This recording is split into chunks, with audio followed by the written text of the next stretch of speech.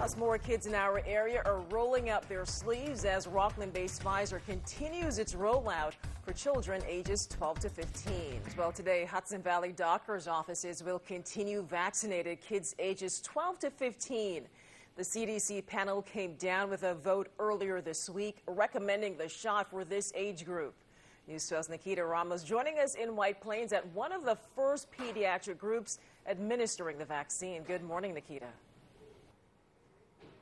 Yeah, good morning, Michelle. We are outside of Allied Physicians Group here in White Plains. They're right here behind me. They, like you said, are one of the first in our region to administer the vaccine to kids ages 12 and up. And the, the doctor tells me that their phones were ringing off the hook yesterday. It really shows how eager these teenagers are to get their vaccine. Uh, they did say, in fact, that 100, they had 180 requests for 120 doses of the Pfizer shot. Now, this is the first day this office is uh, administering the Pfizer shot. So, recommending the vaccine for kids ages 12 and up is a ground shifting move in the rollout because it means eligibility to get protected from the virus has now expanded to 87% of the entire U.S. population. That includes about 17 million children that can get their shot at a time when one of every five newly reported cases include those under the age of 18.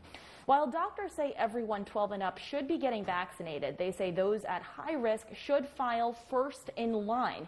This includes kids who are immunocompromised, those with breathing problems, or transplants. These children should try to get the shot as soon as possible now that they can.